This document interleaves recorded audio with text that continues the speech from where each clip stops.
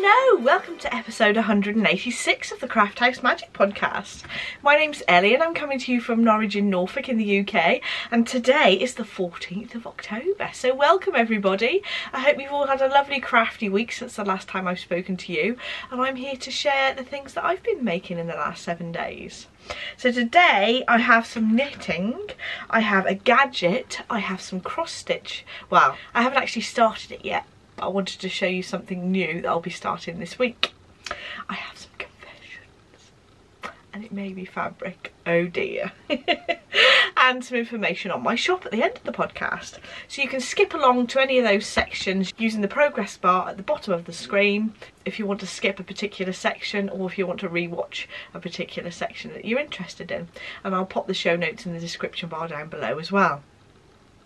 So we still have the Craft 20 a day make along going on both on Ravelry and on Instagram. And the details of the make along are in the description bar down below in terms of hashtags and things. Um, but it's basically working on something a little bit each day chipping away at those larger projects so that you get those bigger things finished. And I will be using my cross stitch as the new Craft 20 a day when I start it this weekend.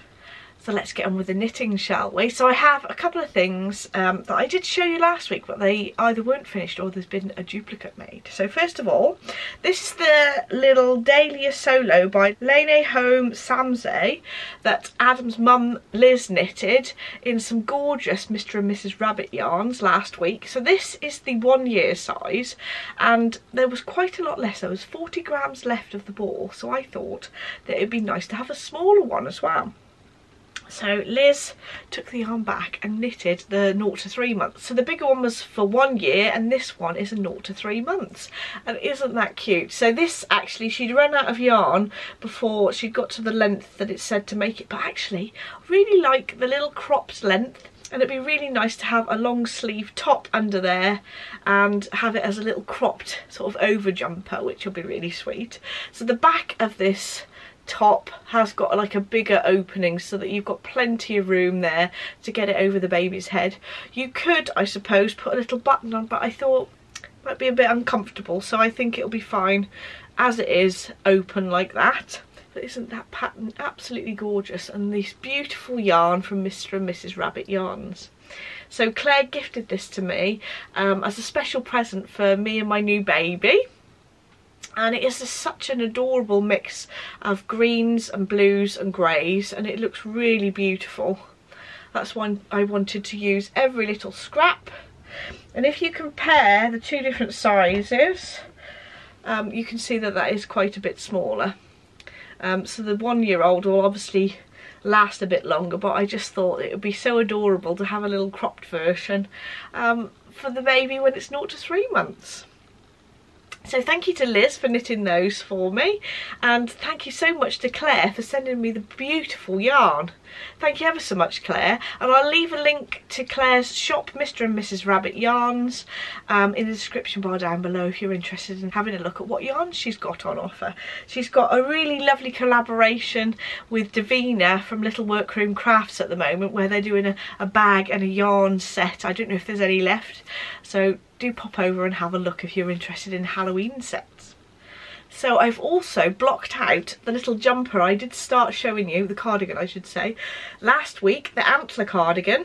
So Adam's mum knitted the majority of this, but I did put the button band on and block it sew in the ends and add some buttons since the last episode. And you can see I've just chosen some sort of rather boring buttons really um, but I thought that they went well with the cardigan and I also just had them in my stash which is ideal because I've got quite a lot of buttons. Do not need to be buying anymore you can see how much the cables and the shape of the cardigan has sort of relaxed now I've given it a nice block. Hopefully you'll be able to see those cables a lot better. And you can see that I'm wearing my antler cardigan at the same time so we will be matching. Hopefully you'll be able to see that. Um, but I thought that would be really sweet. The yarn that I used for these two is some of my own hand-dyed yarn we've blown out a bit there. I look really pale now. But it's some of my own hand dyed yarn. And I used a base that was 100% superwash merino with a Donegal nep in there. And it just um, gives it a little bit of texture. And I had some left over so I thought it would be ideal to make matching cardigans. Have to dye some more up and make Adam one to match. How good would that be so that actually the size that Liz knitted was the one year so I thought that it'd last a bit longer um, and be nice and thick. So the baby is due in November so I'm hoping that a year from now it'll be winter time and ideal for a really nice thick Aran weight cardigan. But it's a lovely pattern and easy to follow because I've obviously knitted it myself knitted myself the full version and it's really lovely and cosy and warm. I do think Adam is going to need one so that we all match. That's another fully finished object that's now blocked and ready to wear. We're getting quite a little drawer full of the lovely hand knitted makes for the new baby. So I have my current work in progress that I cast on last Friday and you can guess what it is. It is the new shawlography for the, the new Stephen West um, Mystery Knit Along. So if you don't want to see what the Mystery Knit Along is going to look like, the first clue anyway, skip along to the next section which will be Gadget. So I'm now going to show you the shawl. So this is how far I've got. I'm almost finished all the four sections of clue one which is lovely and I am loving the way these colours are working together. This section at the bottom here, when that's blocked out just a little bit to open out, you'll be able to see the colours in each of those a little bit better but it, at the moment it sort of scooches in and you've got all the colours striped between this the teal colour which is lovely and I have done this little section which is really pretty. I love those slip stitches. It actually is a little bit more complicated than it looks. There are some increases and decreases there but these instructions are really easy to follow and it comes out really pretty so well worth it. And I'm just on the last sort of section of clue one which is this bit here which are these little I cords which are so much fun. So I've just got to do those all the way around the top um, and then I'm waiting for the next clue which is out on Friday. But I am loving the way this looks. It's a bit of a pain to sort of hold up for you at the moment to get the full extent of the way the colours are sort of laid out. Um, but I think with blocking that's going to look really lovely. And it's going to be a lovely big squishy shawl let's see if I can get that closer to the camera so that you can see those stripes a bit better. But I'm loving the way that the colours are working. And this is my own hand dyed yarn and it is actually in the same colourways as I've got in my Fade to Grey mini set. I do have a couple of mini sets in the shop at the moment but it's only the ones that I dyed up um, before I got this pregnant. So there are a few in there and I will be restocking the shop with yarn and things in January. Um, and I may have some kits for this if people are interested in buying the yarns as a set for this particular shawl. But I love the way these colours work together. And it's really nice because Stephen holds your hand in that he says right for colour A which is this one that you start with here he said pick the colour that sort of pops out the most and that's definitely that mustardy colour definitely pops out of the rest of the colourways that I've chosen. I will hold up the yarn, well at least I will try to, that I've chosen. So you can see the colourways that I'm going to put together. So those are the colours that I've got for my um, shawlography and I'm excited to see how it turns out in the end. I love having mystery clues, it's so so much fun. And I think if you really love the five colours that you've put together you're going to love the end the end product just because it's so much fun. I think in all the previous ones I've done I've loved it anyway so I'm really enjoying having a go at that. And I'm actually I had trouble stopping doing these loops last night just because I was enjoying doing them so much. Um, but that's a very interesting and unusual texture that um, and I'm wondering what the next section will be so that's really exciting So that's my knitting that I've been working on this week. I have done a little bit of crochet in terms of my Battenberg blanket, but I haven't really done enough to show you, so I will leave that till next week. On my next section I have my gadget. I have one of the products that went up in last week's shop update and it's a little tube to keep your darning needles in and it comes with some darning needle needles in really useful sizes actually. So this is made by Clover.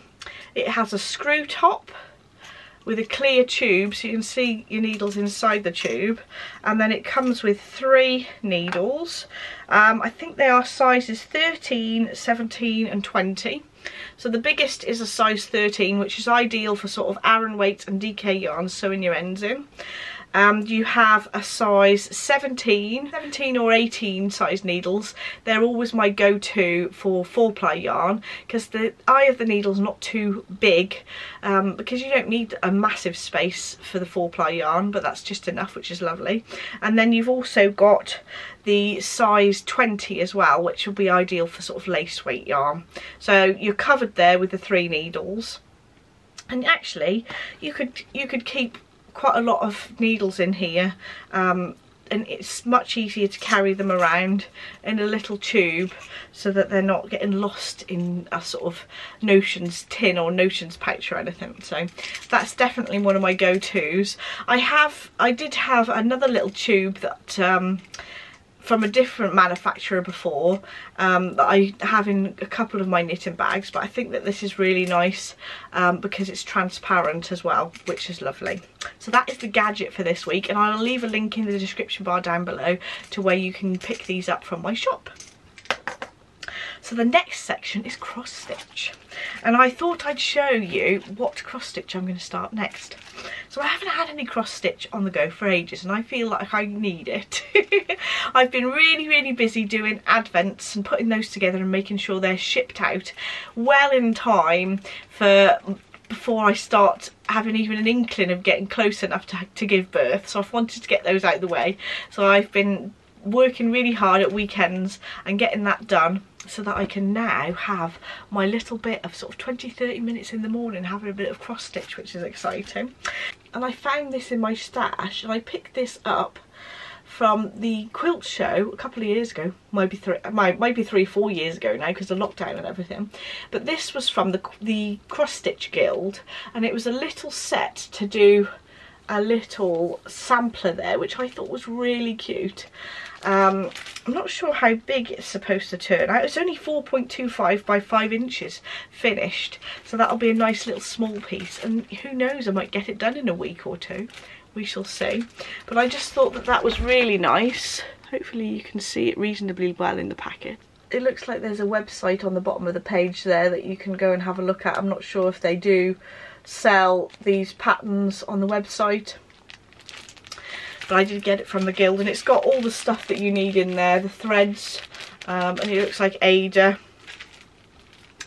Um, so that'll be a nice fun little cross stitch to do. It's always nice to do small pieces because they get finished so quickly. That's what I'm going to start this weekend. And now I have some confessions. Okay. I really don't need any more fabric but I've got an excuse. I've got a baby on the way so I needed some a lovely lady messaged me to say that Dalston is it Dalston? Yes, Dalston Fabrics um, is a shop that she uses for lots of cotton jerseys and she said go and have a look there they've got lovely prints and I had to buy one. so this is the Space Robots cotton jersey from Dalston Fabrics and I just thought that that was really sweet. Adam is very into sort of space and robots as well so I thought that would be lovely for our son to wear and I just picked up half a metre I have washed it so it's curled up quite a bit um, but I thought that, that would be nice to, be, to make a few things for the baby I haven't quite decided what I'll make with it yet but we shall see so that's one thing I bought. I will leave a link um, to where I got the fabrics from in the description bar down below if you want to grab some too.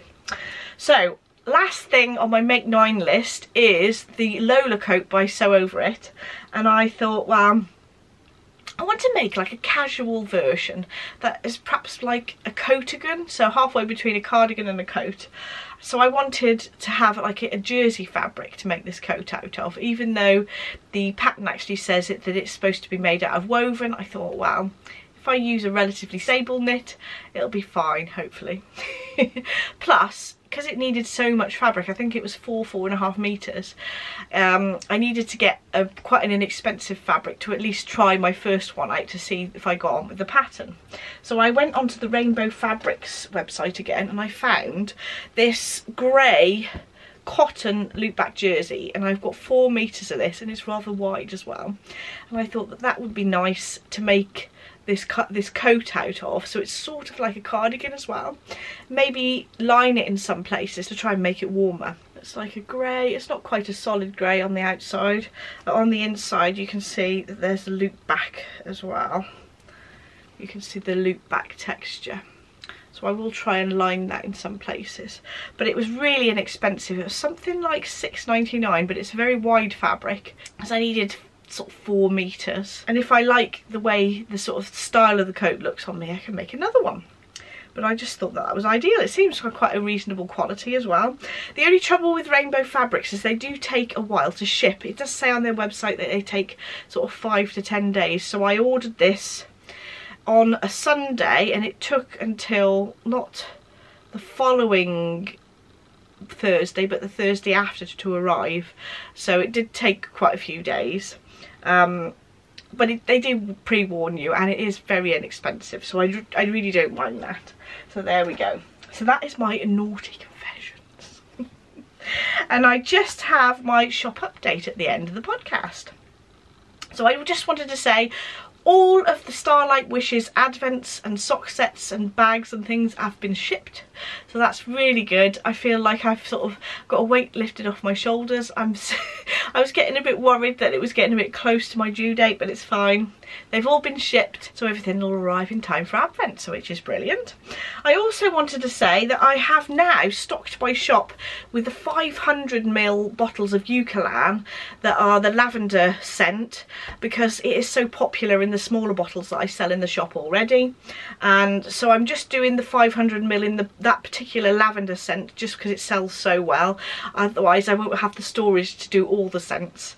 But I do the 100ml bottles in all of the other four scents and the smaller sample sizes as well but lavender goes up to 500ml so those are in the shop now and I think that's about it for today. Thank you so much for watching. Don't forget to like and subscribe if you'd like to see more and I shall see you in the next episode. Bye!